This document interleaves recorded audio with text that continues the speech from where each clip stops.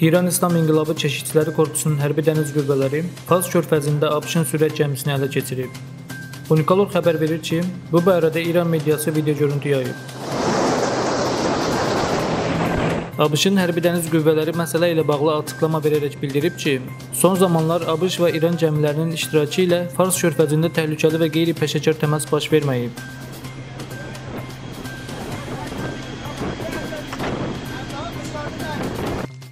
عکسم میگیرم